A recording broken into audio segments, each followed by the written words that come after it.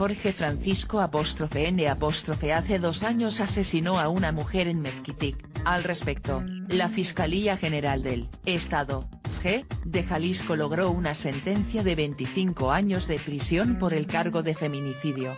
El evento sucedió el 24 de noviembre de noviembre de 2016, cerca de las 10 de la noche, cuando, la Policía Municipal de Mezquitic recibió el reporte de una mujer de 35 años de edad que había desaparecido, se notificó que no contestaba las llamadas que sus familiares le hacían y que no había vuelto a su respectiva casa.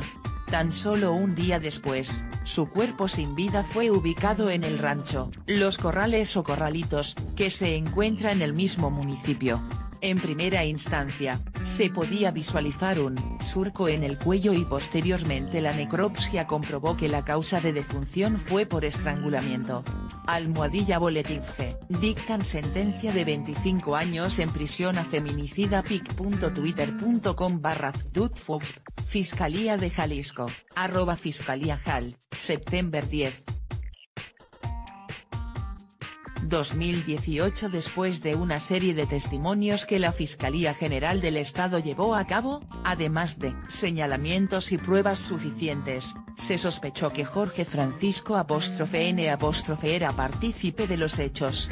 Una vez que, el señalado fue capturado y llevado ante un juez de control y oralidad, a quien se le rindieron las diligencias correspondientes, la FGE logró corroborar la plena responsabilidad en el feminicidio.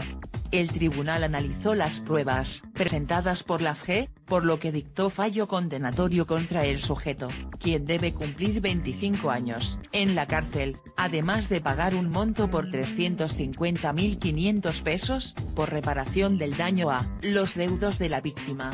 Con información de cabecera e informador. Anímate a comentar. Queremos saber tu opinión. Comentarios Powered by Facebook Thank you.